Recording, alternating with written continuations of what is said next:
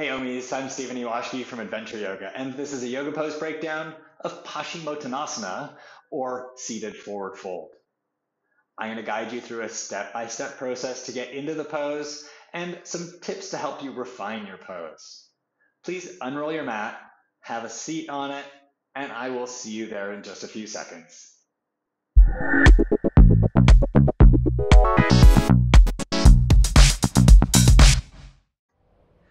For this Paschimottanasana yoga pose breakdown, we're going to start seated in Dandasana, or staff pose. So sit on your mat, stretch your legs out in front of you, and place your hands on the ground beside your hips.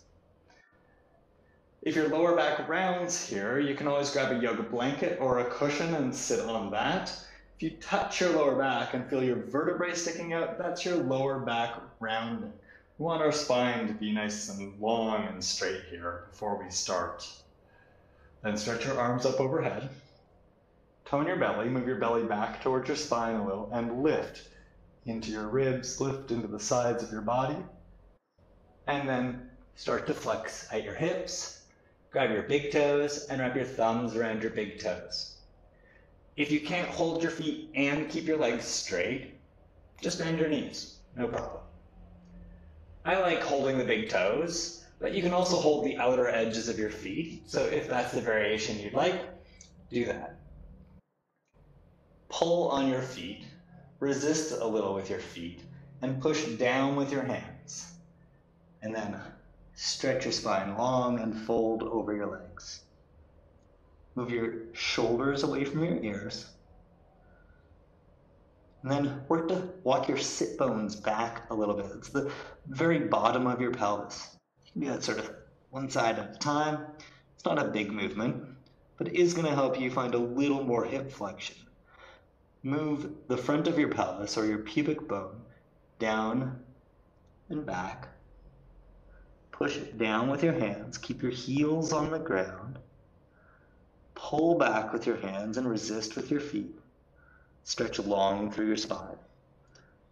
This is Paschimottanasana. To deepen your pose a little bit, lift your ribs away from your thighs a little. It'll feel like you're rounding your back. Then you're going to use that little lift stretch forward and get more length in your spine. And as you stay here, your body will get a little bit used to the shape. So keep working to deepen the pose and keep your body working. Intense stretch of the back or of the west is what this pose translates as. Intense stretch of the back or the west is what this pose name translates as. So work to keep getting that intense stretch. Push down with your hands, pull back with your hands, resist a little with your feet, move your shoulders away from your ears, stick your butt back and stretch like you're trying to get your head to touch your feet. And to come out, keep holding your feet, lift your head and chest. And then sit up and walk your hands back to Dandasana. And this is a good pose to counter Paschimottanasana with, or if you want a nice opening for the front of your body and your hips, walk your hands back behind you, push down through your hands and your heels, lift your hips up, stretch your toes forward, and stretch it all up. Purvottanasana. Lift through your hips, lift through your chest.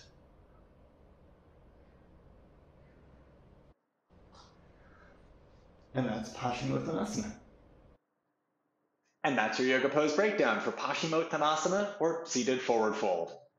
I hope it's helped you learn a little bit more about your pose and how to refine your pose. And if you'd like to learn even more, you can head over to my website, adventureyogaonline.com, where I've written a whole blog post about Paschimottanasana, the benefits, the step-by-step guide that goes with this video. And you can find a direct link to that in the video description just below this. If you'd like to do a whole class, there's a whole class right there I recommend. And if you haven't subscribed to my YouTube channel yet, please do. Just click on my picture there. I hope you have a great day, and I will see you on the mat soon. Namaste, OMies.